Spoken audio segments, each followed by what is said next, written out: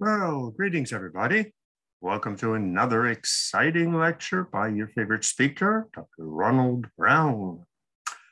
Today's topic is rather exotic. I don't know how many of you viewers have been to New Orleans or even Haiti or the origins of voodoo back in Africa.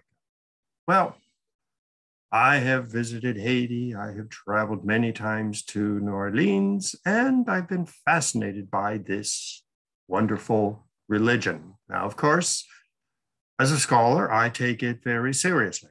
Other people say it's magic and superstition and uh, irrational. Well, whatever you may think about it, it is a religious presence. And as we're going to discover today, Point number six voodoo becomes a global religion with migration, missionaries, converts. Voodoo is now a major world religion. And whether you like it or not, you have to deal with it. So, once again, here's our outline. You can't underestimate the power of geography when it comes to a religion. Jews and the early Muslims were people of the desert. They don't understand water or sea, oceans, and all of that. They are a people shaped by their experience in the desert, as was early Christianity. Well, the swamps of the Delta have given rise to many religions, many superstitions, you might say. Even the ancient Biloxi Indians had their own unique religious expression of delta and swamps. The arrival of the French Catholics forced the Catholics to adapt to a new reality of hurricanes, diseases, flooding, and all the other things we associate with jungles, swamps, and deltas. The origins of voodoo the emergence of a unique African American slave religion, which is what voodoo is. And then finally, voodoo goes global and becomes a world religion. So, without further ado, again, this is Dr. Ronald Brown. Let's get started on our exploration of this fascinating now world religion. If you look at these maps, you see the world of the Delta. On the left, you see New Orleans, which is a bit inland on Lake Pontchartrain, but yet surrounded on all sides by water, with the mighty Mississippi cutting through the city. Well, the Delta is basically low lying swampland. In fact, most of New Orleans is under the sea level. So when it rains, a city uh, fills up with water. Everything gets swamped. You can't have basements in New Orleans because they would fill up with water. Many of the houses are built on stilts to escape the water. And once you get out of New Orleans and go down the Mississippi, it turns into more and more water with little islands of green, which are submerged when the water is high and appear on dry land when the water is low. This is a, a place of constant battle between water, whether it's the hurricanes or storms or high tides coming in from the Gulf of Mexico, or whether it is giant floods coming down the Mississippi, draining the whole Mississippi Valley and dumping it right on New Orleans. Water and dry land are in constant battle. It is a place where any person with a brain would rapidly conclude God never intended people to live in this area. So the power of geography dramatically shaped the city of New Orleans and as well the religion of voodoo. And as we're going to see, it influenced Christianity, Catholicism, it influenced Judaism. I mean, the famous swamp Jews of the Delta. Now, as you can see from the picture on the left, the Muslims and the Jews are people of the desert. Think of Moses wandering 40 years in the desert, the Muslim religion emerging in the Sinai desert. Even Jesus going into the desert to meditate and to pray for 40 days. He was a man of the desert. You get outside of Jerusalem, you are surrounded by deserts. In the same way, you see the Temple of Egypt on the Nile.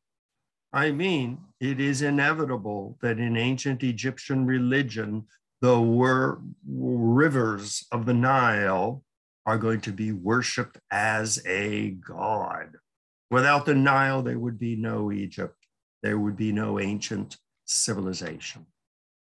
The Plains Indians, inhabiting vast areas of land with no mountains, grasslands, buffalo, battling the arrival of European settlers. Here again, their world was a world of flat plains, and flat plains influenced the religion of the Native Americans. And below that, we see the Inca Empire up in the Andes. Mountains, gods dwell in mountains. Mountains are sacred. See the picture of Machu Picchu, where I spent a magnificent vac- vacation. In fact, two vacations. Getting up into the mountains, where during the day it can be up into the high 80s, and at night it is below freezing. Winds and storms and desolations. Look at there are almost no trees. A land of grass strongly influenced the Inca religions. Well, the Mississippi Delta also influenced religions. Even if you are a tourist, you will swear that the mosquitoes of New Orleans are the most vicious creatures ever created. Spiders living in the swamps and the jungles and the trees, poisonous snakes, alligators, leopards, big cats roaming the swamps. I mean, you are constantly on the outlook for dangerous animals. And if you escape the dangerous animals that could kill you, as they did many of the first settlers, well, then you are confronted with epidemics.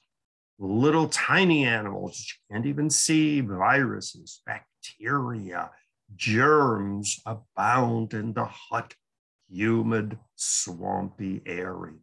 If you lived in the desert, the heat of the burning sun, the dryness would kill off any lingering germ within minutes. But in the swampy, low lying area of New Orleans, germs have found their homeland. Yellow fever is just one of them. In the summer of 1853, 8,000 people died in New Orleans. You see Le Petit Journal talking about the cholera epidemic, which swept over the city and the Delta, killing thousands of people. Religions had to adapt to this. Nursing nuns, New Orleans probably had more orphanages than any city on the face of the earth because so many women would die in childbirth, parents would die, children would get sick. Every religious group in New Orleans, from the Baptists to the Catholics to the Jews, all sponsored an orphanage to take care of all of the abandoned children. And if insects, wild animals, and epidemics, pandemics, as we are seeing now as I speak with COVID 19 ravaging the city of New Orleans. Well, coming in from the Gulf of Mexico, hurricanes constantly ravage the city. In fact, New Orleans, they say that every 2.24 years, a hurricane ravages the city. So far this summer, I'm speaking now in August of 2021, Two hurricanes have ravaged the city and flooded it. Barely was the city established in the early 1700s when hurricanes wiped it off of the face of the earth. The great hurricane of September 22 to 29 ravaged the city.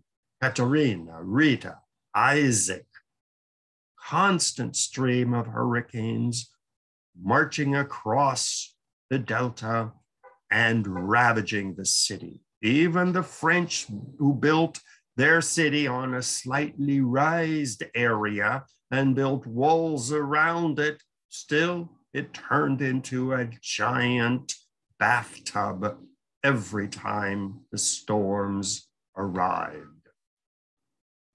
And water didn't deluge the city coming in from the Gulf of Mexico, but the entire Mississippi Valley water system, which covers almost half of the United States.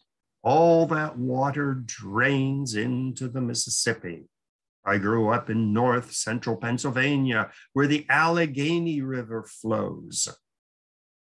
In fact, in my backyard, we had a Allegheny River, which we would ice skate on in the winter when I was a kid. Well, that flows down to Pittsburgh, into the Ohio River, into the Mississippi. So I could throw a bottle in the Allegheny River in my backyard, and it would eventually end up in New Orleans. 1790, the Great Flood. City was rebuilt. 1731, another flood. 1816, the city was underwater for a month. 1849, underwater for 48 days. 1882, 91 days, three months, the city was underwater. And then, of course, in 1929, we had the Great Flood, as if a 91 day flood was not great. 1973, half a billion dollars of real estate was destroyed. Well, how do people respond to such a forbidding and dangerous environment? Well, we can find out a little bit about that by going back and studying the ancient legends of the Biloxi Indians.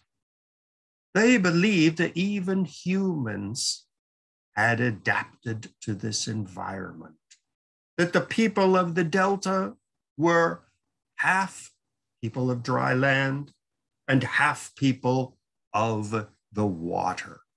The famous Biloxi mermaid, pictured on the left. You can always buy these little statues in New Orleans and t shirts with a Biloxi mermaid. This little legend was written when the French missionaries and conquerors started arriving and tried to convert the Biloxi Indians to European style Christianity. Well, needless to say, even if they did succumb to the missionaries, they still remained loyal to their ancient legend that they were a people unique in the world, half human and half fish. This is the famous legend of the Biloxi mermaid, which was written down shortly after the French arrived in the early 1700s. The Biloxi mermaid lives in a castle under the waters, and she speaks to her people, whether they are the Biloxi Indians or today the people who inhabit the city. Come to me, children of the sea. Neither bell the bell of the Christian church, the book, the Holy Bible, nor Christian cross shall win you from your queen. She remains under the sea, remains the spirit of the Biloxi Indians. And it is said that the night of the full moon, she emerges from the sea and she sings. The music that haunts the bay, rising through the water when the moon is out, is the sound of the rebels in the caves below. So when the Biloxi Indians die, they didn't go up to heaven, as the Christians were trying to convince them. They went to the castles and the cities under the waters where the dead lived on in the presence of their mermaid queen. So, under the waters, there are a lot of interesting things ghosts and monsters. We love lost cities under the water. Think of the city of Atlantis in the Atlantic somewhere. Think of the Asian legend of the city of Mu underneath the Pacific somewhere. Well, central to the legend of the Biloxi Indians is people who arrive in the Delta are challenged. Many die and disappear, but those who survive are a special race of survivors. They have made peace with their environment and survive. Anne Rice, one of the greatest of the New Orleans writers, uh, explored this world where the dead lived on on castles under the sea, where humans were forced to adapt to this threatening environment. She put it in the shape of a vampire the living dead. In fact, the vampire temples and legends of New Orleans, once again, those people who have had to adapt to survive, whether it is worshiping the mermaid, listening to her song, going to church or synagogue, whatever you do to survive in New Orleans is absolutely necessary. New Orleans is a city of strange people, strange world, strange universes. And Anne Rice, one of my favorite writers, captures this. So the those who can survive in New Orleans are a chosen people. Many books, Dan Baum's Nine Lives, Death and Life in New Orleans, The Inevitable City, the resurgence of New Orleans and the future of urban America. Immortals of New Orleans by Kym Grosso. These are the kinds of people who inhabit New Orleans. If you survive, you are then a member of a chosen people. Well, the French started carving out their giant colony stretching from Quebec, in Canada, the whole way around the Great Lakes, down the Mississippi. And in 1718, they transformed New Orleans into the great city at the end of the Mississippi. Well, of course, the English had taken over Newfoundland and had carved out 13 colonies along the East Coast. The Spanish were encroaching in Texas and California and had taken over Florida. But the French built this giant empire, which the United States eventually bought from the French in the early 1800s. But it was a French colony. Even the names, Trois-Rivières, Montréal, Quebec, Fort Saint-Pierre, Fort Detroit, today Detroit, Fort Orleans, Fort Saint Louis, St. Louis today, Baton Rouge, Rouge, Nouvelle Orleans, Biloxi, named after the great Indians of the area, Mobile, the very first French city, going back to 1702. So New Orleans was important because all of the beaver furs and later the cotton and tobacco and agricultural produce of the entire Mississippi Valley flowed down to New Orleans, whether, where it was loaded on to great ships and exported back to France. So that's why New Orleans was built.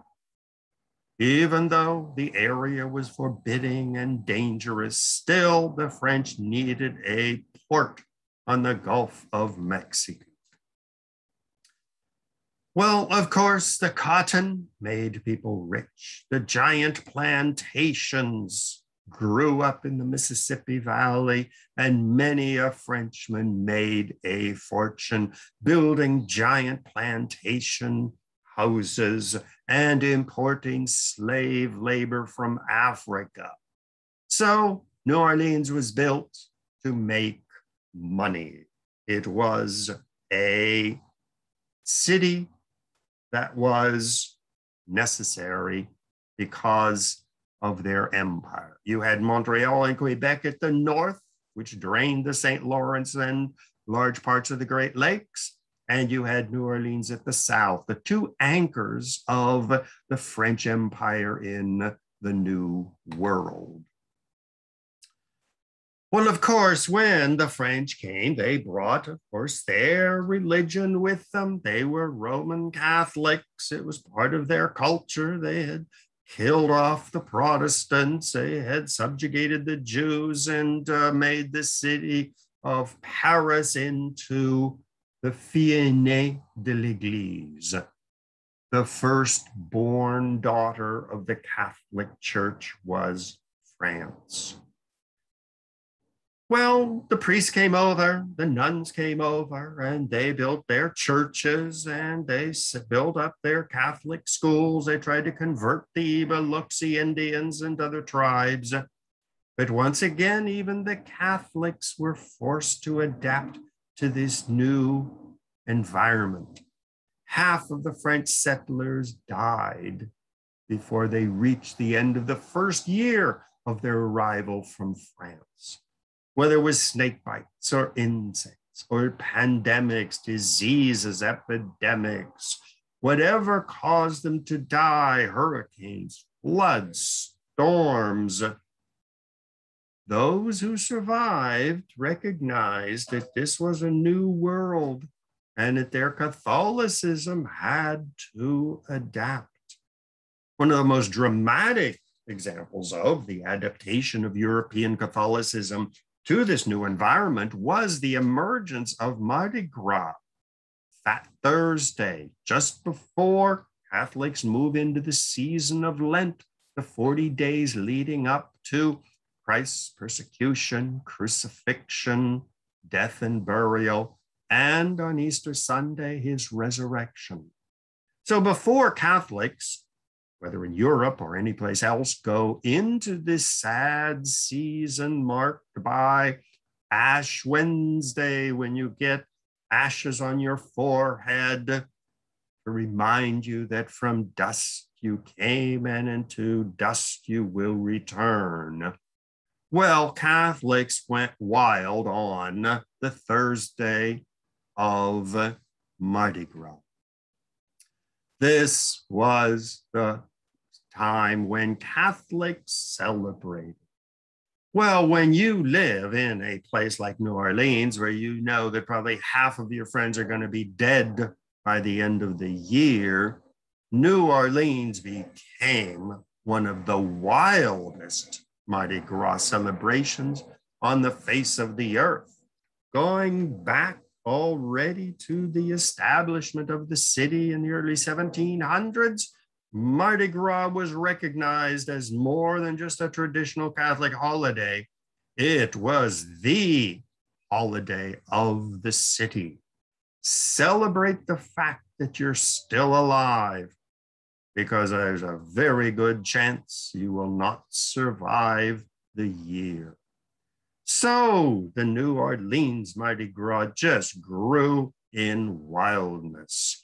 You celebrated sexuality because if you don't have sex today, it might be the last idea that you will take to your grave. So women expose themselves. People dance in the streets. They drink alcohol, get drunk, celebrate life, kiss, dress up in crazy clothes, celebrate the fact that you are still alive. Well, this Mardi Gras got so um, out of hand that even the authorities in Paris and in Rome said, we got to rein this in. this Mardi Gras, which is a nice Catholic holiday, is getting totally out of control. So the Catholic Church sent a Franciscan friar by the name Antonio de Sedella. Well, he was a Spanish priest who was in charge of the Inquisition in Spain, rooting out sin, rooting out Protestantism, rooting out those Jews who had converted to Catholicism but continued to worship secretly as Jews. These were the people who he was sent to root out. Well, he arrived in New Orleans in 1774 with instructions clean up the city. Well, his life was rather interesting. He took over the Cathedral of Saint Louis, see it in the fog across the square, and he was going to clean up the city. Well, he got here and he realized that even his own chance of surviving the year was going to be questionable.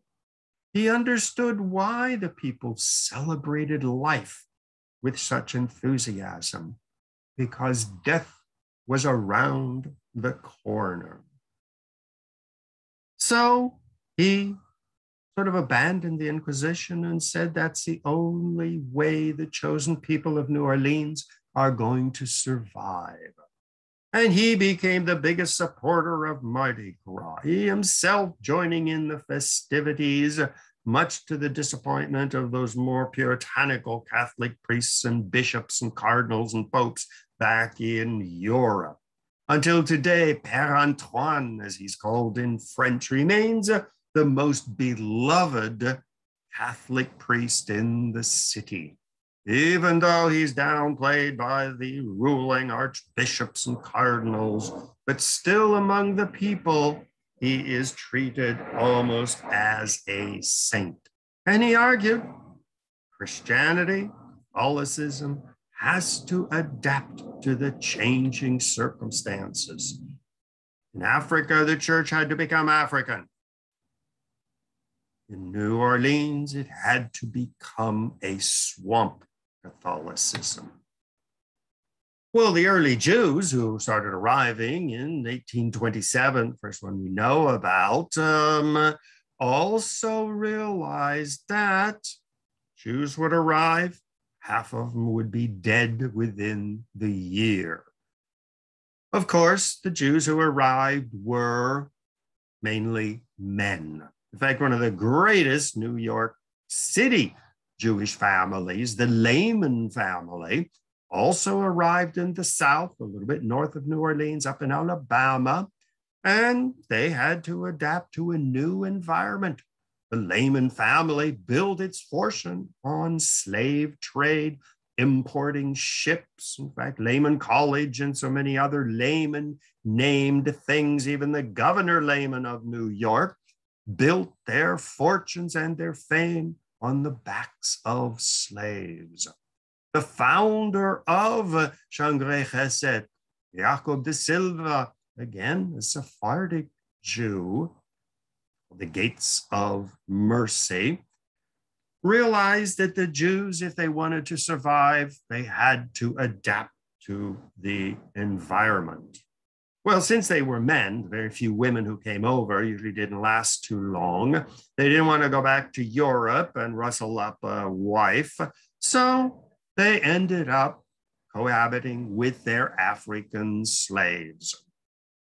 Some of them married into Indian families. Some of them would go back and get a nice white Jewish bride from Europe bring her over, and hopefully they get a couple of children before the wife also died. So in 1827, when they built their first uh, New Orleans synagogue, it was a remarkable place because most of the people were mixed blood. The father was Jewish, which according to Orthodox law meant that the children were not. But according to Jean Chesed, You could be a Jew through your father or through your mother. And this was revolutionary at the time. Many wives continued to remain Catholic if they were white French wives. Other wives who were Jewish produced children who would then marry or father children with other slaves. So it was a unique experience. But here again, Jaco de Silva said if Jews are going to survive in this hostile environment, they have to adapt to the environment.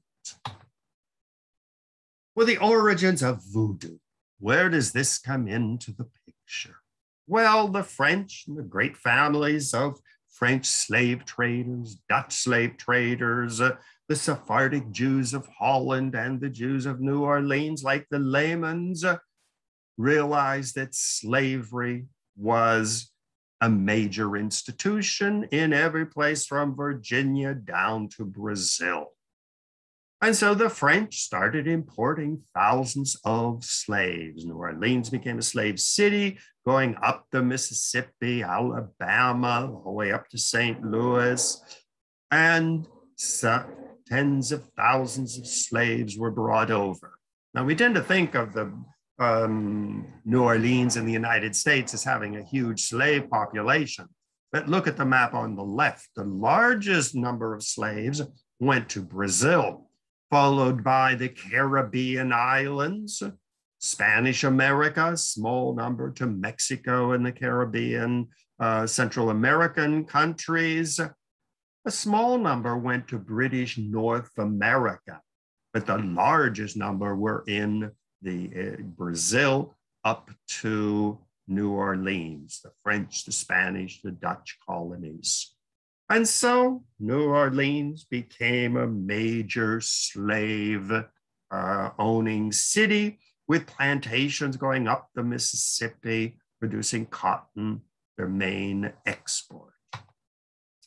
Well, these slaves were brought over from ports along the Atlantic coast in Africa that the Dutch, the British, the Spanish, the Portuguese built when I spent a summer in Senegal on the west coast of uh, Africa, I visited the island of Gorée, which was one of the largest slave trading posts. The slaves were captured by the African tribes on the mainland because the white people couldn't go into the jungle. They would die of disease or be attacked by mosquitoes and snakes. So the Europeans hired the kings of Africa to go on expeditions into the jungle, capture slaves, bring them, put them in warehouses on the island of Gorée, where they would be held until a European ship came and bought the slaves. Well, the slaves were generally young men and young women. They didn't want old slaves. They didn't want a bunch of kids because they'd probably die off in the passage. They brought teenagers and young men and women.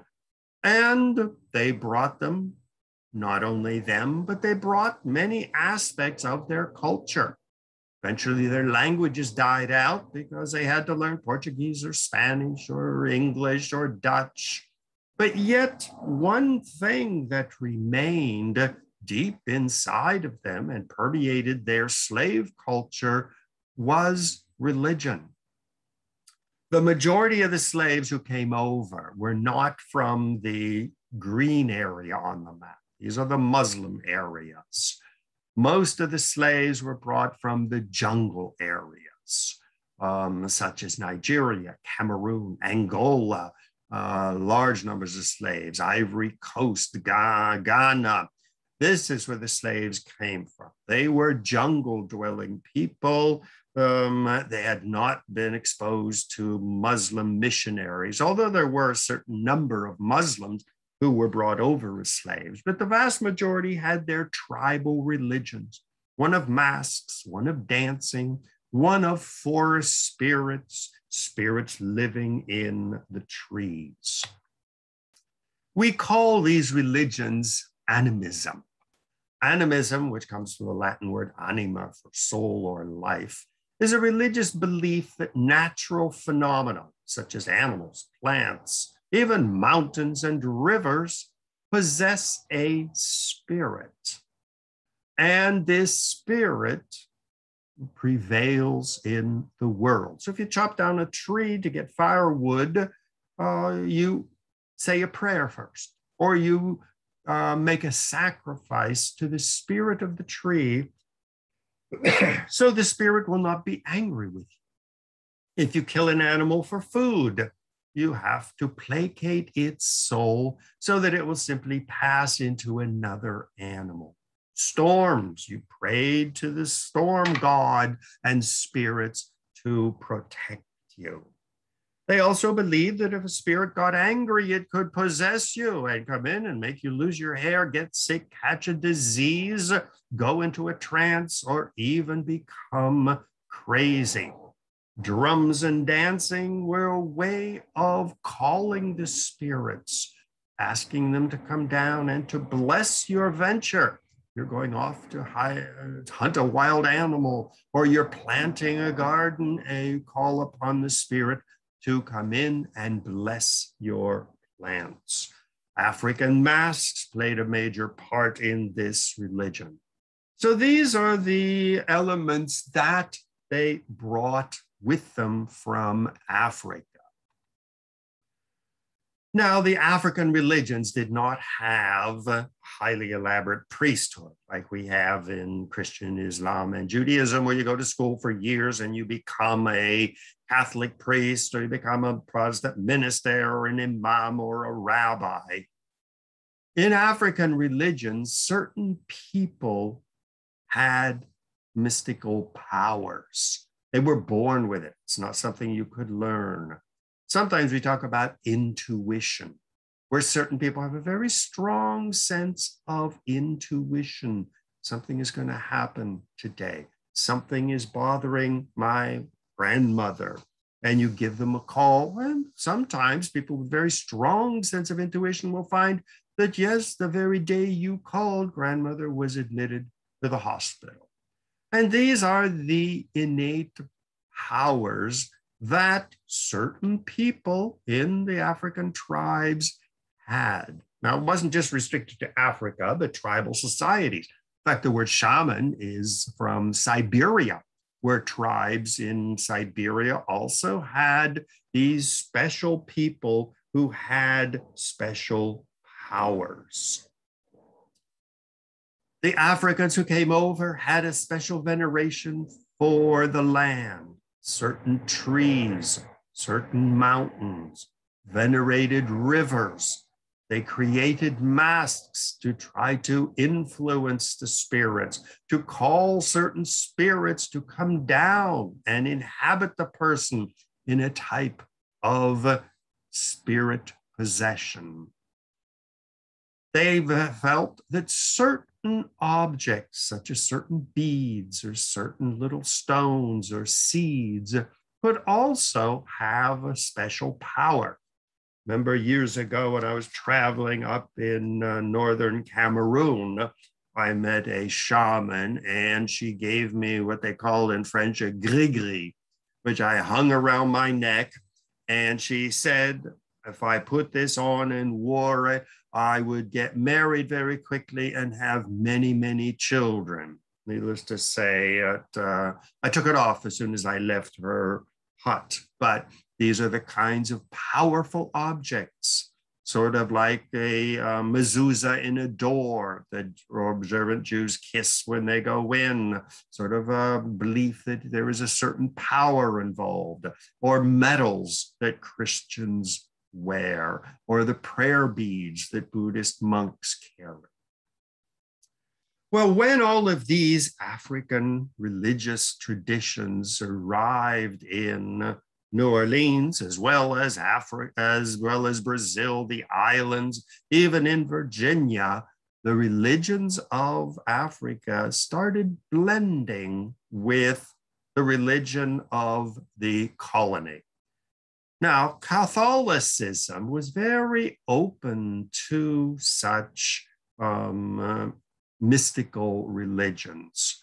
For example, if you were a shaman and you claimed powers, well, you were very similar to the Catholic saints or to miraculous healings. You pray you're a saint, you wear a medal, you sprinkle someone with holy water, you make a certain hand movement, and you bless the person, giving them special powers or curing a disease. In the United States, the Protestants were against saints and medals and statues and pilgrimages.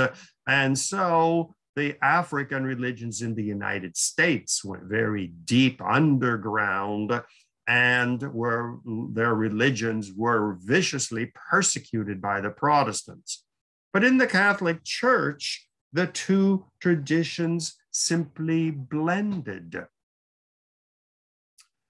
until today, if you go into a Catholic church, you're going to see statues, you're going to see saints, you're going to see processions, you're going to hear glorious music with orchestras and organs, you're going to see fantastic clothes, you're going to smell burning incense, you're going to see amulets, holy medals. So the Africans, they would go into a church, they were forced into a Catholic church, they would see a statue of an angel, which is a half human, half divine creature.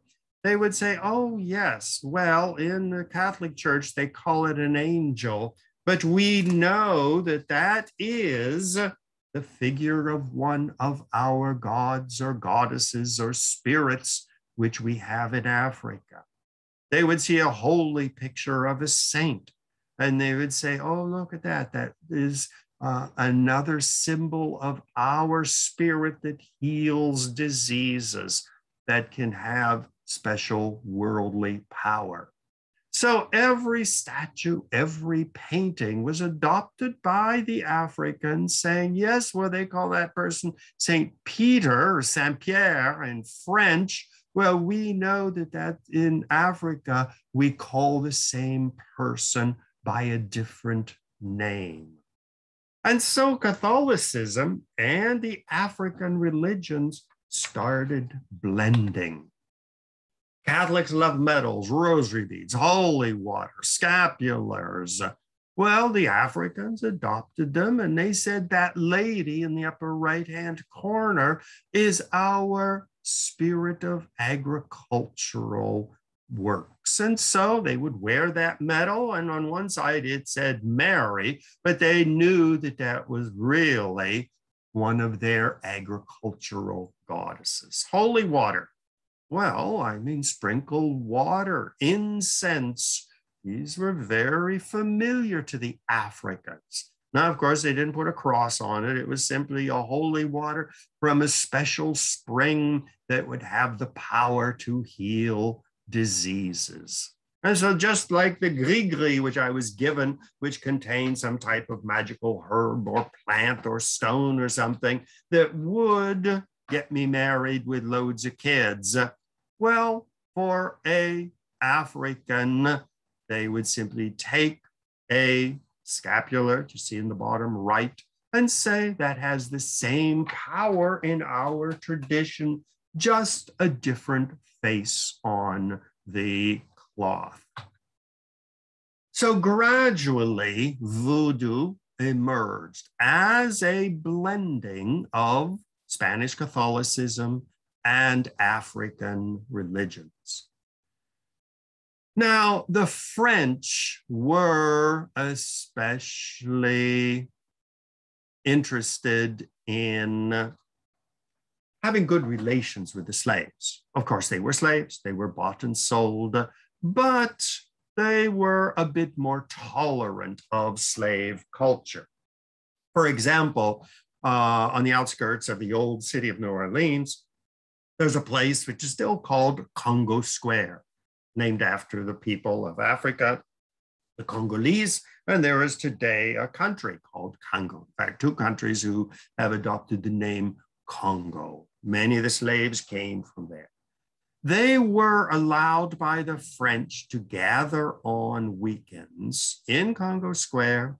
They could play their drums, they could speak their languages, they could invoke their spirits, they could have bonfires and dance. And they would get there. Of course, they came from various tribes of Africa, but everybody had a common idea of music whether it is a stringed instrument or drums. The dancing in the hot, humid New Orleans got rather wild at times, but they would eat, they would maybe form alliances between different groups of people, or a man and a woman would hit it off, but they were allowed to keep large elements of their African culture. And voodoo emerged from this Congo Square mixing of Spanish, French Catholicism and Africa. That's why I call it Christ, the Christian God, meets Baba Legba. Baba Legba was one of the great male figures of African religion and remains the central male figure in voodoo. Now, Catholicism and African religions blended in a different way in the various Spanish and French colonies. On the islands, Puerto Rico, uh, Dominican Republic, Cuba, it was called Santeria, which means the religion of the saints. And if you look at these two images, you'll see you'll have a picture of Mary crucifixes with Jesus.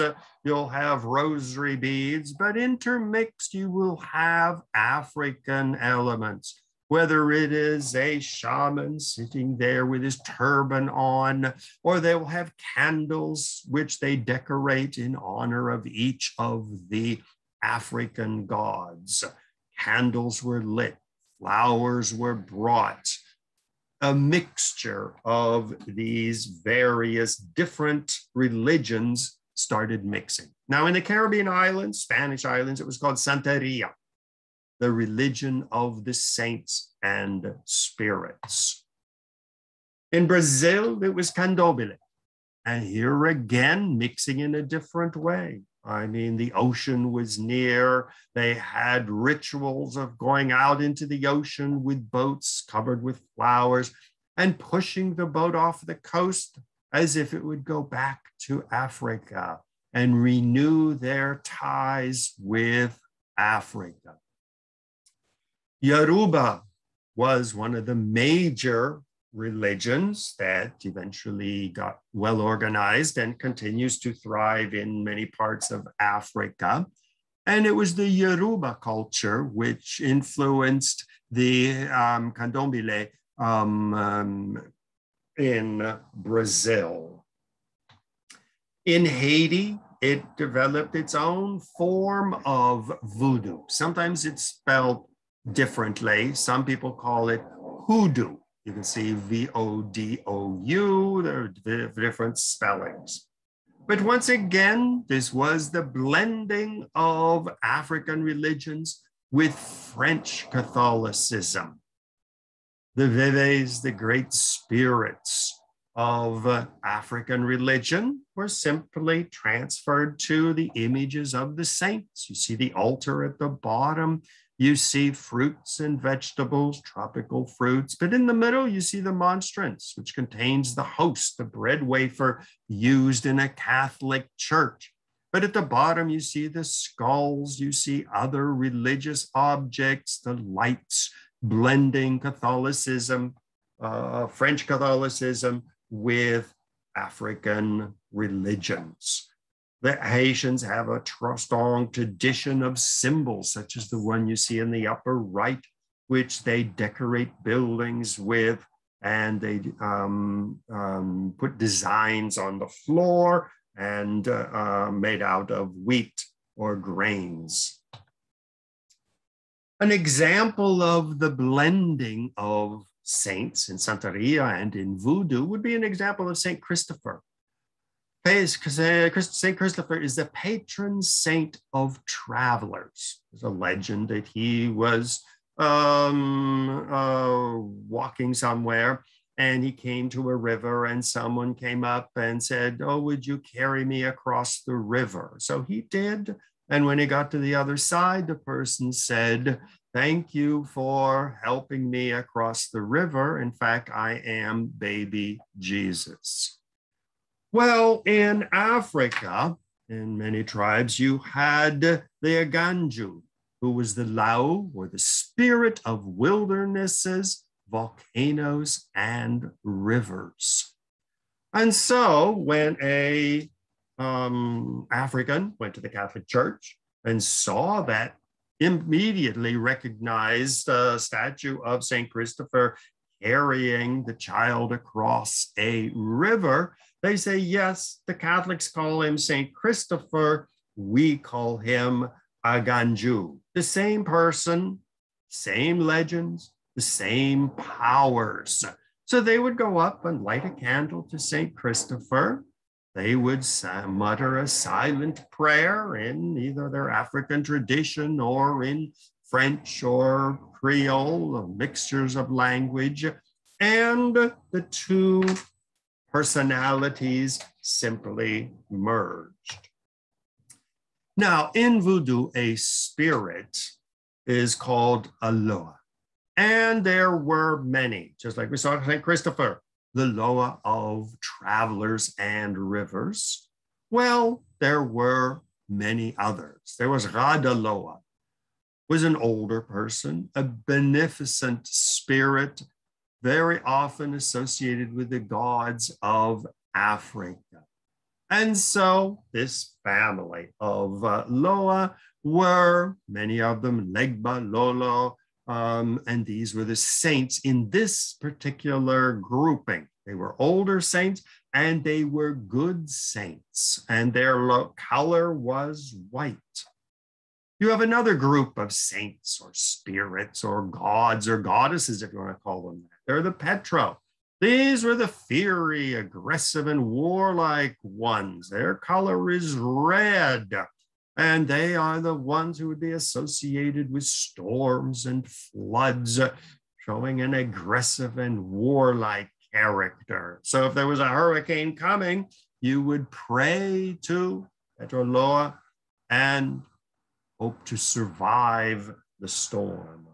The Congo Loa, originally from the Congo regions, who was a fierce and much feared female Loa.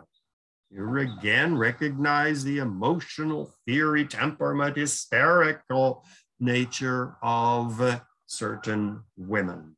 The Nagoloa, more or less from Nigeria among the Yoruba speaking peoples. These are the spirits who preside over iron hunting, politics, and war. So they would be the ones involved in government, in defense, in hunting animals. The Gedaloa were spirits of the dead. When you died, your soul continued on.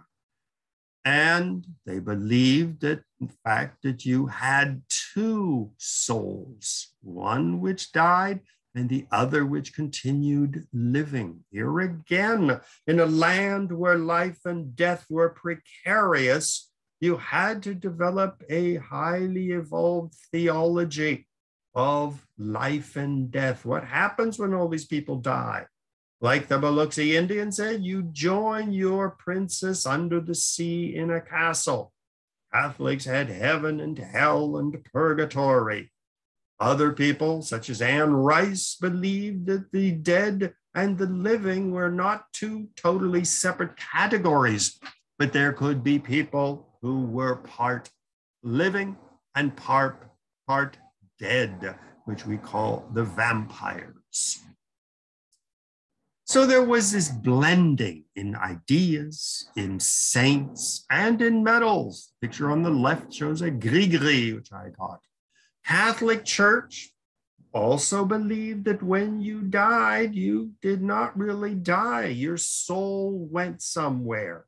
the relics you left behind, your bones, the clothing that you wore, also had a spiritual power. So when you go into a Catholic church in especially French and Spanish and Portuguese speaking countries, it's not at all rare to see a coffin with the skeleton of a dead person. These, these dead were still in connection with the living. The spirits were not totally gone. You could pray to your great grandfather who had special powers, and his spirit would come and it would help you. Woman couldn't get pregnant. You would pray to a saint who was the saint of motherhood. Or she would pray to the Blessed Virgin Mary statue, who had a baby, even though, according to Catholic, Catholic religion, remained a virgin. So the blending of rituals. In fact, if you go into a botanica, which is a store um, all over in Spanish speaking countries and even in New York, you will find objects which blend Catholicism with African religions. The bottom, the voodoo queen of New Orleans, Marie Laveau, special love oil will make the person you want fall in love with you. Marie Laveau was the most famous voodoo queen of New Orleans. And you can see the blending of sacred animals with the cross in the middle. Candles, elegua, even mugs, which a tourist love to get, showing that life and death are intertwined decorated crosses, or they take a Christian cross, but they will put African and voodoo symbols on it. Once again, to show the blending of the two uh, religions. Marie Laveau was the great voodoo princess of New Orleans. She lived from 1794 to 1881, and her daughter followed her, mother and daughter. And they were what we would call shamans. They were born with a special power to invoke the saints and the spirits and to placate angry spirits, to call on good spirits, to repel bad spirits. When she died, like everybody in New Orleans, you can't bury the bodies underground. Put somebody in a casket and bury them in the ground. Well, the first storm that arrives is going to cover the area with water, and these caskets are going to come floating to the surface. So in New Orleans, people are buried above ground in these little mausoleum type buildings. Here you can see it's made of bricks but the weather in New Orleans, the storms, the water, the salt water coming in from the Caribbean, or the floods coming down the Mississippi ravage everything. Everything is moldy, everything is falling apart in New Orleans, has to constantly be repaired. Well, here you see Marie Laveau's tomb, but if you look at the bottom, you'll see that even though it is in total disrepair and following, falling down, People still go there to try to connect with her spirit because they believe she is still alive. Her second soul is still somewhere. And so this has become a shrine of the uh, New Orleans voodoo world. Now, voodoo could have easily remained a local superstition replaced and stamped out like most of the African religions in North America, surviving in gospel music and some church uh, rituals, but uh, being more or less Baptist or Methodist or Protestant in character. Uh, drums were not allowed in churches until the rise of jazz and New Orleans jazz. But in New Orleans, the religions remained very violent. In fact, they were much appreciated by many of the white people who would go to a voodoo practitioner. A woman couldn't get pregnant or had a serious illness, they would sometimes exhaust the resources of the medical establishment at the time, but then they would always sneak off and one of their slave women would show them where a voodoo priestess was who could uh, help them, possibly, and cure their infirmity or get pregnant or stop getting pregnant or overcome a disease.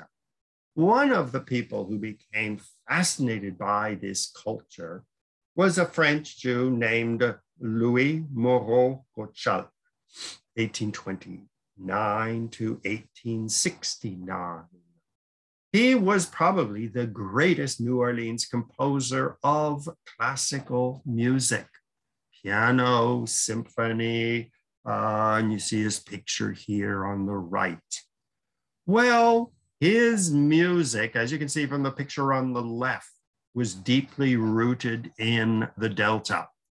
Just like Spanish and um, French Catholicism blended with the culture of African slaves in the Delta, so did Gottschalk blend his jungle background with European classical music.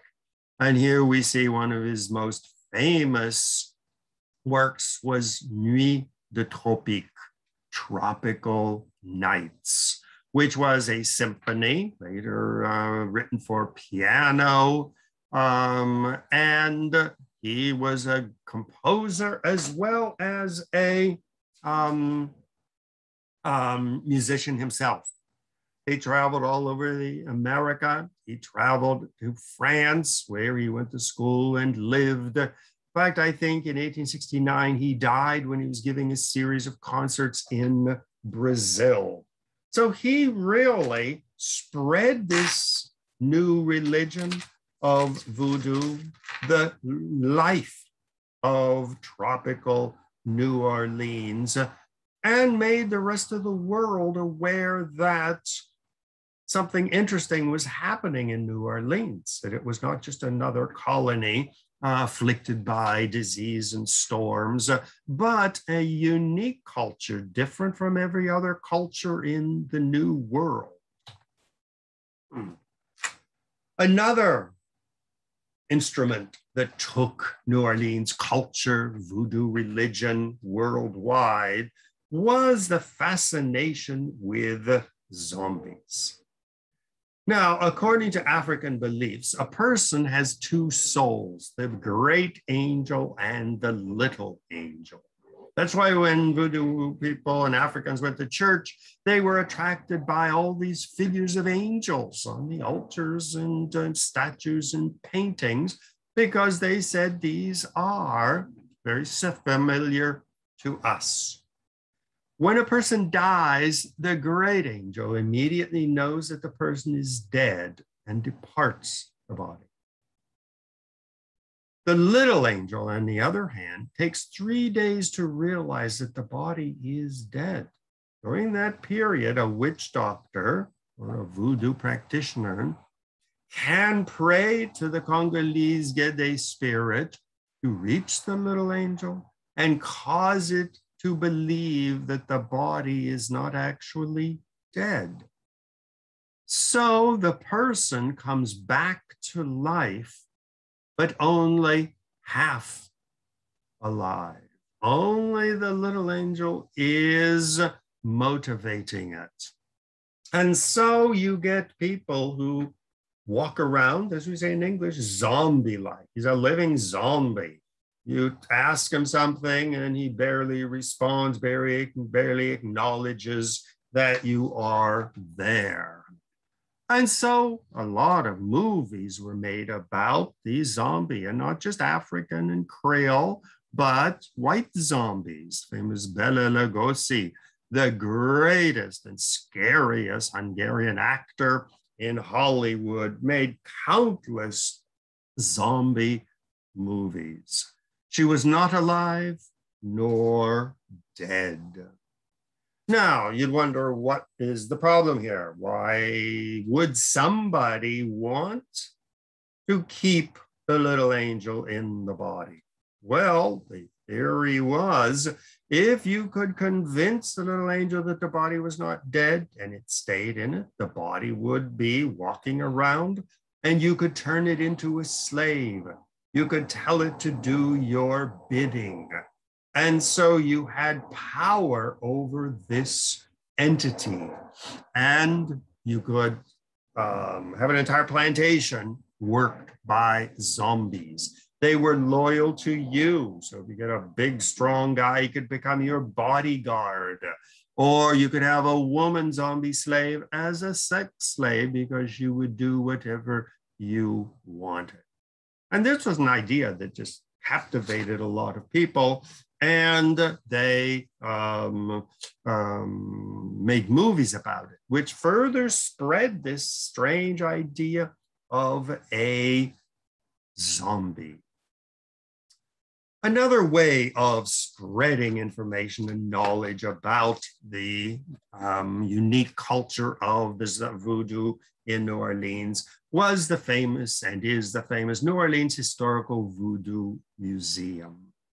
Once again, this blending of African traditions, Catholic traditions, skulls, uh, uh, statues of Mary, but with saints all over, candles, prayers evoking a certain spirit.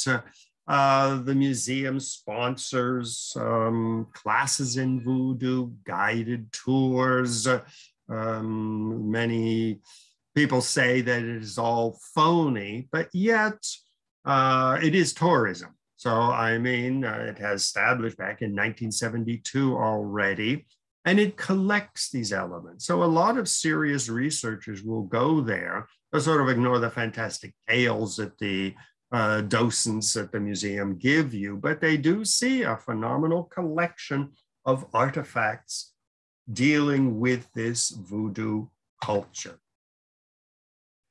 Another great instrument in spreading the awareness and the knowledge of the voodoo was the Great Migration from the in the early 1900s.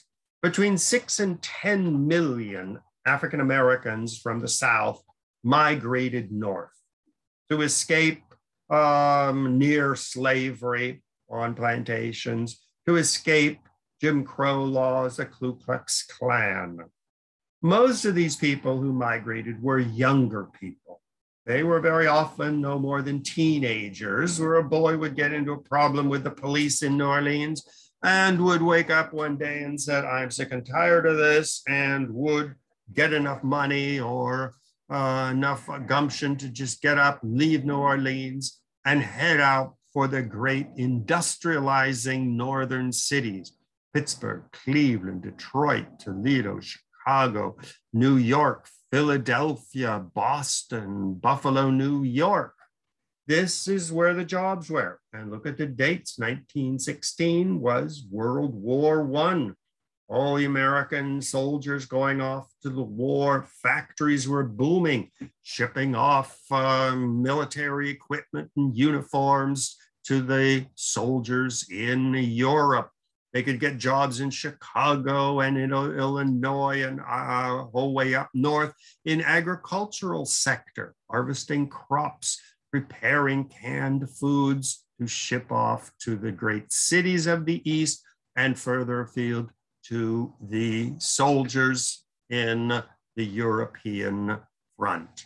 So these people, they took a lot with them. Now, we're the most familiar with the rise of jazz and the spread of jazz up the Mississippi, St. Louis jazz, over to Chicago, eventually reaching New York. We know about gospel music coming from the South, mainly a Protestant contribution to Christianity. We know about soul food, bringing your food with you. We know about the language, the dialects, the way of speaking of the Southerners. That's when we got Yo Man, up? I mean, a on, a lower educated person from the South bringing this, and it caught on. And today, everybody, white of any color, educated or uneducated, uh, will say, Yo, what's up? And, um, and man this and man that. Well, along came voodoo. The language came. Sylvia's restaurant in Harlem brought Southern food north. Jazz swept all of the clubs. Gospel music swept the Protestant churches. Fashion, bright colors, uh, um, hair fashions, spiritualist churches. Once again, these were in the Protestant tradition where a woman would find herself especially endowed with special magical, mystical powers, a gift for preaching, and would set up her own church. Great liberating movement for women. And of course, voodoo became more widely known. Harvard researcher Wade Davis took very seriously this whole culture, went down to New Orleans and wrote the famous book called The Serpent and the Rainbow. Well, he explored voodoo in New Orleans, in Haiti, which had a very similar mixture of Catholicism and African religions researched the zombies, a fascinating uh, scientific adventure. And it says a Harvard scientist uncovers the startling truth about the secret world of Haitian voodoo and zombies. In fact, it was made into a fascinating movie, also called The Serpent and the Rainbow which uh, I was thrilled with when I first saw it. Once again, you can see from the director of uh, Nightmare on Elm Street, it is a rather Hollywood version of this, but still, it started convincing people that this was a new religion. It was a tradition. It had a wealth of insight into religion and into humans and should be taken seriously. And other researchers went down, started collecting information. One of the people who migrated north was Mama Lola, the voodoo priestess who established her temple in Brooklyn. Once again, showing the powerful influence of women in the voodoo movement. At a time when women could only become Catholic nuns, they couldn't become priests or bishops or popes or cardinals. And in most Protestant churches, women were excluded from clerical roles. Voodoo offered a chance for specially gifted women to express their religious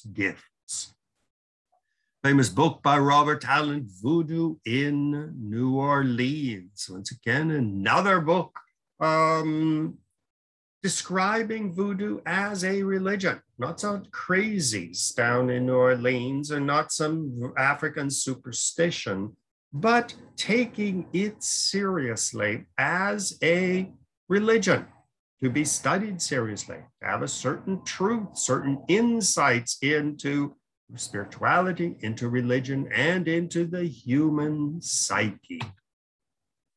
So gradually, voodoo started going mainstream. Uh, you have voodoo school, you have temples being built, you have the handbook, the New Orleans Voodoo Handbook, the Voodoo Society, I'm a member of the American Academy of Religion, and there are scholars who give papers on voodoo and other aspects of uh, African religion in the Americas. And so it has gone global. I visited a voodoo congregation in Berlin, and not one of them was from New Orleans or Haiti. They were Germans who had seen a certain power in voodoo and established their own temple. So it is going mainstream, it is going global, and it is being taken seriously as a significant world religion. So that brings us to an end of this fascinating lecture on the religion of voodoo. Not only relegated to New Orleans, but spreading around the world. So it really brings up the question is what kind of these new cults and sects and new religious movements, which of those are going to survive? Which of those are going to fade away and disappear? And which of those are going to flower and, like Christianity, flower and become the major world religion? When you take the teachings of the Prophet Muhammad in Arabia, I mean, that's a religion that could have just fizzled out and disappeared or become some little minor sect somewhere. But yet it expanded, took over Arabia, and took over most of the Caribbean world, spreading it, spreading into Africa today and down as far as Indonesia and Malaysia. Today, as I'm speaking in September 2021, the Donald Trump regime has lost power, and many people say that the evangelicals, who were his major supporters, are fading away, and that the age of the Trump Kushner regime are over, and that the United States will go back to being a secular state with separation of church and state. But who knows? Are the uh, evangelicals dying, or will they bounce back with a new Trump regime and start sending out missionaries? And as they have done in Brazil, the evangelicals are now almost as numerous as the Catholics. So, what determines whether some new crazy cult or sect or um, some new religion, whether it survives, whether it dies, or whether it grows into a major world religion? A lot of factors are involved.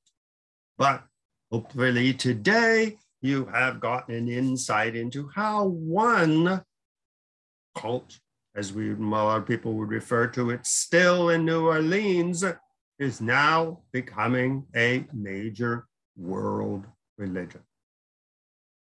So, thank you all very much for joining me today.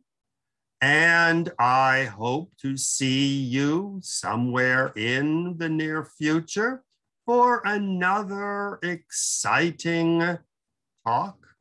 And I hope you enjoyed this talk and have a great day. Thank you very much. This is Dr. Ronald Brown signing off.